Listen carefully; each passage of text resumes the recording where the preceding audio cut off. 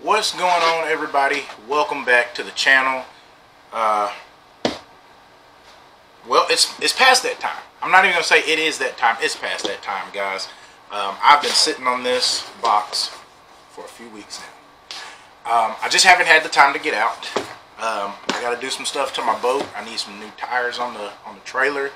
Uh, that tournament I fished a couple of months back. As soon as I got back, you know, home, um, I had a blowout, and so I had to limp the boat back to my house, and then I had to. Uh, I kind of tore up my yard right there, getting it into the yard and stuff. So I need to get some new tires to put on the trailer so I can take the boat out and have a very good uh, peace of mind that I'll be able to get to the lake and get back home without any problem. So it's kind of why I haven't been out fishing and made any videos. Plus, uh, school is officially out for me, and so that means that I'm back out on the streets patrolling. So I've been out patrolling now for the last for a couple of days now. So that's kind of eating up my time as well as uh, getting out there on the water. But nonetheless, let's jump into this, guys. This is the April Monster Bass box.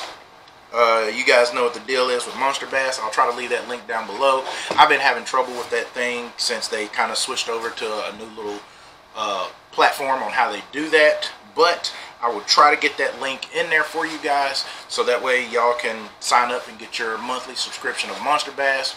I still believe that they have this special going on where if you pay for three months, you get a fourth month for free. Y'all know what the deal is with Monster Bass monthly subscription where they send you all kind of cool baits. Uh, some of them will come from companies that you haven't heard. They're small companies trying to get their start in the fishing industry.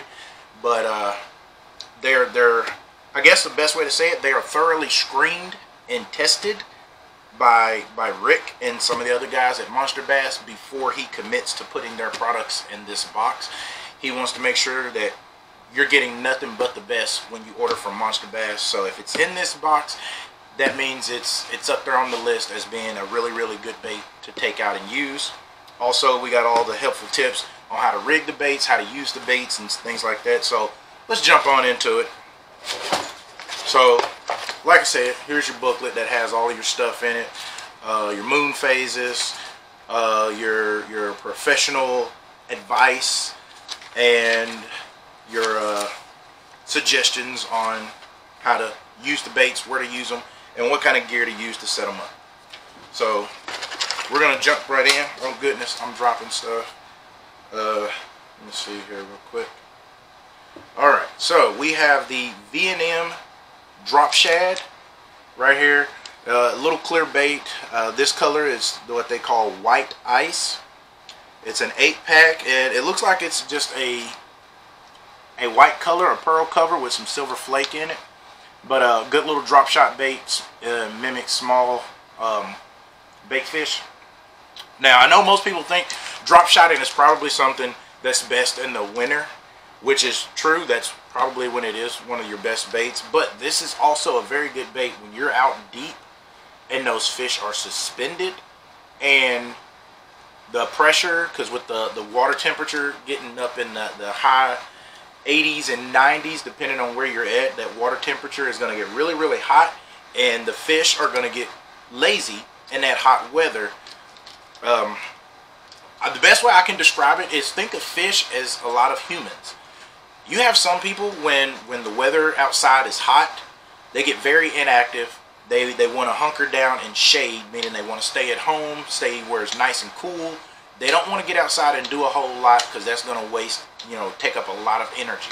So when those fish are being suspended and they're being lethargic and not very active, this is a good bait to drop down in front of them and dangle it in front of them.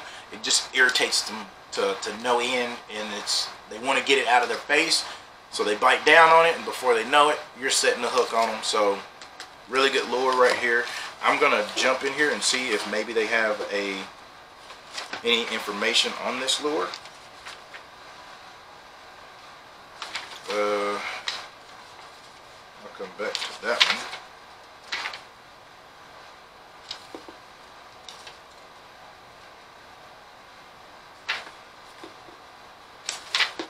Okay, so they don't have this bait, but they do talk about uh, drop shot.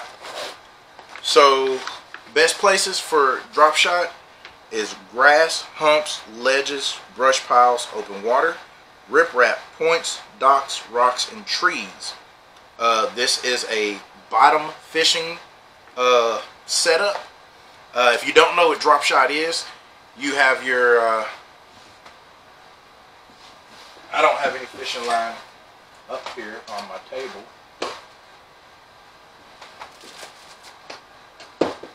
But you have your your line coming off of your uh, off of your reel, and then you will tie your hook onto that. But you want to leave yourself some some leader line.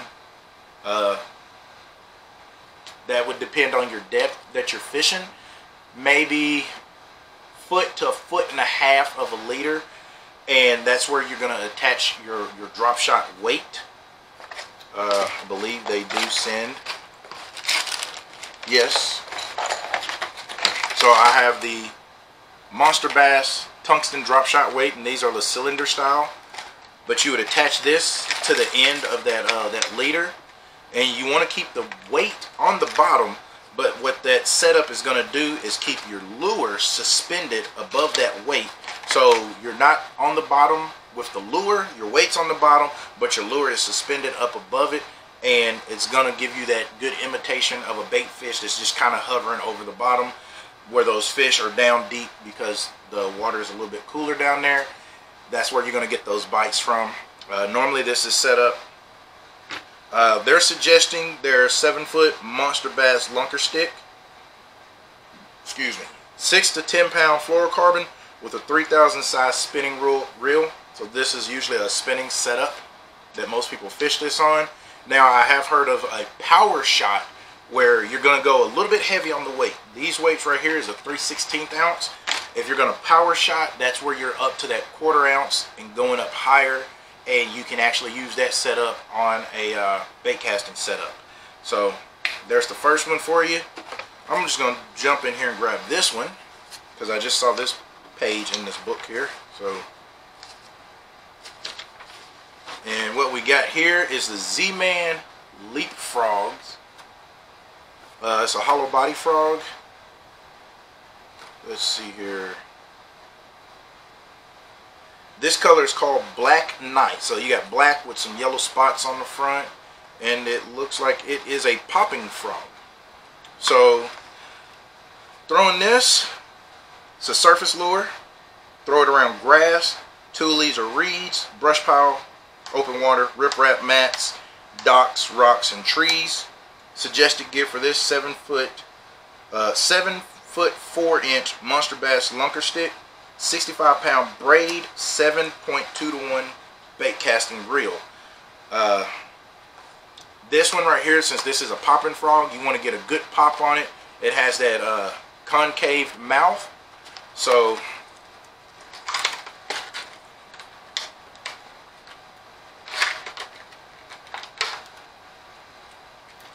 So you can see that mouth right there, how that is set up. Uh, that is going to catch water and spit it out. So it's going to either spit, spurter, gurgle, whatever you want to call it. But it's going to cause a lot of commotion in the water and even give off that popping sound or gurgling sound in the water, which is what's going to attract those fish. And then as they see this thing scooting across the surface, popping, spitting that water, the fish can't help it, but they have to come up and investigate. And when they do that and they see it, they just immediately attack it. Now, uh, this doesn't always mimic a frog because you have to remember the frog is sitting on the surface, the fish are beneath it. So as they're looking up, this is probably going to imitate some kind of a brim or something that's on the surface struggling and is trying to move and got little bubbles spurting out of his mouth. So just because you're fishing a frog doesn't mean you are trying to imitate a frog all the time. This could mimic some kind of a bait fish, like I said, a brim or a bluegill that's on the surface struggling and it's spitting water out as it's trying to, to swim. Now, please remember that these lures, this box is a uh, $35 box that uh, you get monthly, but the lures, you're getting about a $50 value in lures. So you're talking lures and sometimes your terminal tackle. You're getting at least $50 worth of lures in here. And that price is based off of comparing prices on um, Tackle Warehouse. So you're getting a really, really good deal, saving a lot of money, and you're being introduced to a lot of baits that most people would go in a bait shop and walk right by them because they want to stick in, they want to stay in their comfort zone. They don't want to venture out of that comfort zone and try different lures. I'm guilty of it myself. That's why Monster Bass has helped introduce me to some lures. Uh, like right now, I'm looking at my wall that's behind the camera, and I'm looking at one of my uh, beetles that I got from LunkerHunt. Who would have ever thought that fishing some kind of a bug would catch fish? But they really do. So, Monster Bass is a really good way to get introduced to a lot of lures that you normally wouldn't go by. So again, jump down there, hit that link, and go on over to Monster Bass and get you some cool lures. This one right here needs no introduction. This is the Monster Bass Ragnar. Uh, this one is the bone color topwater lure. Uh, it's got their uh, feathered treble hook on the back and their signature red uh, katana uh, treble hook. Again, topwater bait, and this is a walking bait, so as you work that rod tip down, you're going to get that good walking the dog action. Sound like it's got some good rattles in it. Uh,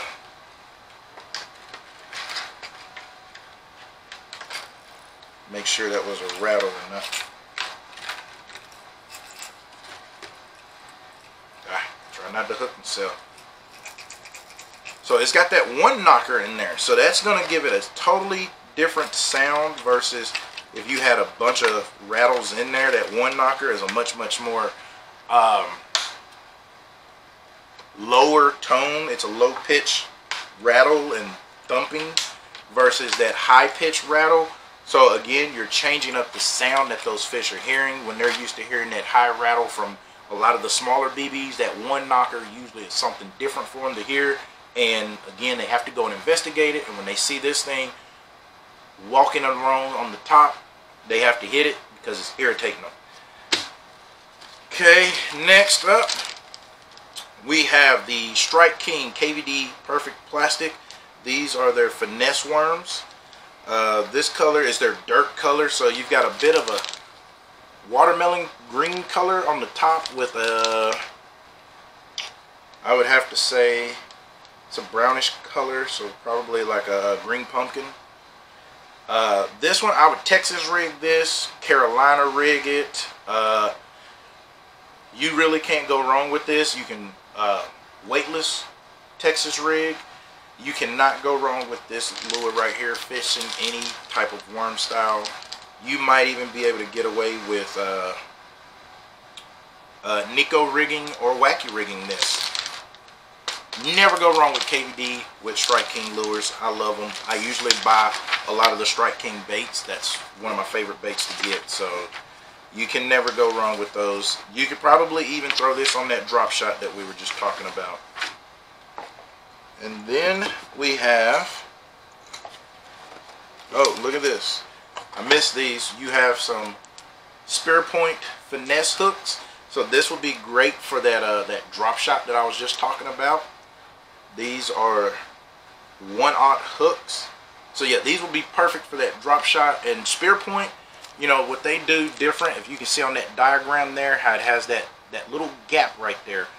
That is engineered that way so that way when you set the hook on those fish it keeps them pinned it doesn't give them any extra slack or extra room within the bend of that hook to, to shake it free it keeps it pinned in the corner. So that is really good engineering by those guys. And then last but not least you have the Duckett Fishing Pro Driven uh, rattle trap from Bill Lewis.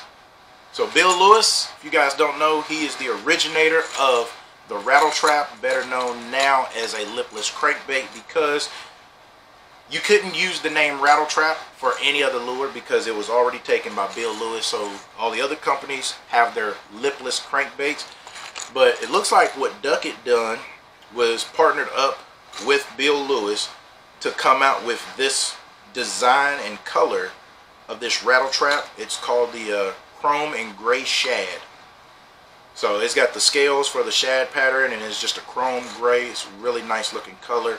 Uh, this thing would probably work anywhere uh, you throw it. Uh, right now with water temperatures being a little bit warmer, I would probably say a good throw out with a steady retrieve would work. Uh, coming through grass, rip it up out of that grass. And if that still doesn't work, slow down your presentation and try the yo-yo method where you throw it out. Uh, you, you wouldn't want to do this in the grass, but if you're fishing along ripraps and stuff, throw this out there, let it hit that bottom, and then reel up your slack, and then lift up on your rod. And what that will do is when it's coming up, it's going to have that wobble and that shimmy as it's coming up, plus those rattles. And then as it's falling back down, it's still going to have a shimmy. So you're basically yo-yoing it. You reel up your slack, you pop it up, and as it's falling back down and you're lowering your rod down is when you want to take up that slack and just keep doing it that way, yo-yoing it. That's usually on that fall or even when you come up with it, as it's coming up shimmying, that's when those fish will hit it. So be ready when that happens because the fight will be on. And something new that Monster Bass is doing is now uh, trading cards with the professionals on it. Uh, this one is Brandon Coulter. He is from Knoxville, Tennessee. A few little stats about him. Career wins. He's had four career wins. Uh, nine top 10 finishes. 14 top 20 finishes. He's been to the REDCREST once. He, uh, in the 2022 Angler of the Year, he finished 44th. Uh, let's see here. He is one of a small group of anglers who have competed in Major League Fishing, the Bass Pro Tour, the FLW Tour, and Bassmaster Elite Series. Coulter has uh, collected nine top 10s and more than 10 top 20s in his professional career, and that's Brandon Coulter. Uh, we have a card from Black Rifle Coffee. Uh, use the code BLASTOFF25 for 25% off of my code, first purchase or first month in their club, which I've been a member of their uh, Black Rifle Coffee Members Club uh, for a while. So that's pretty cool. Black Rifle Coffee is also a big, big sponsor of the fishing. Uh, a lot of times when you watch the guys' videos, they will have a, a tent or one of their trucks set up with free coffee for the guys to come out and grab. Of course, as always, your ticket. So whenever you check in on Monster Bass Live on Thursdays, if they call out your number, you can win prizes. And the Monster Bass sticker, square bill crankbait. So always, always good things from Monster Bass. I hope you guys enjoyed this video.